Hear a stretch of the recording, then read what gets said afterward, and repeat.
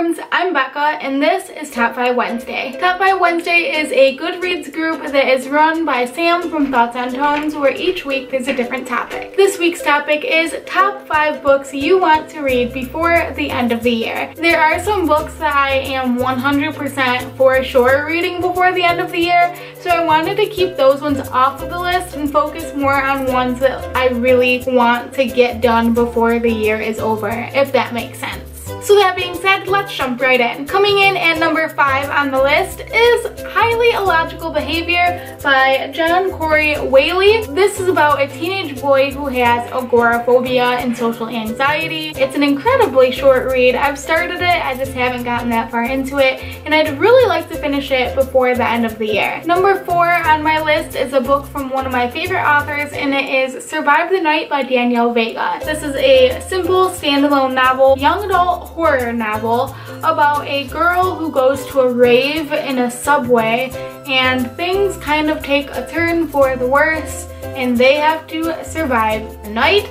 Danielle Vega's writing is so stunning. I've already started this book too and I'm already sucked into the story. I just have a few books that I need to not really get out of the way but get finished up before I can hunker down and start this one. Fall is also approaching, so I might try to hold off a little while longer so that I can really sit back and enjoy this book in the fall and scare my pants off. Number three on my list is actually two books, and if you saw my haul video, these might look familiar to you. The first one is Geared for the Grave and the second one Breaking for Bodies, both by Duffy Brown. These are the first two books in a cozy mystery series set on Mackinac Island, which is one of my most favorite spots. I have a few other cozy mysteries in my collection, but I think that it would be quite fitting that these ones are the first ones that I pick up.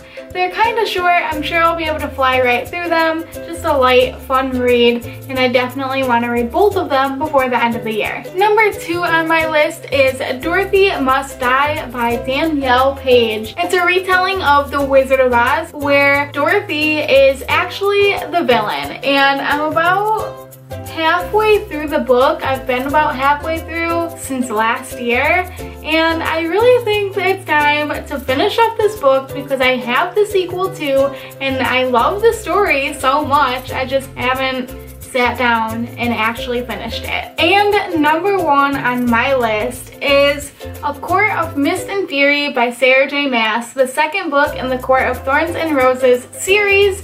This book is massive and I've had it since it first was released so I need to freaking read it already. I am just a little bit intimidated by this book so I haven't read it yet but I definitely want to finish it before the end of the year. And there you guys go. Those are five or six books that I want to get done before the end of the year. Let me know what books you want to finish before the year is done down below in the comments. I really hope you guys enjoyed this video. If you did, make sure to give it a big thumbs up because that makes me super happy. And hit that subscribe button down below to see more bookish videos. That's all I got for you guys today. I'll see you next time.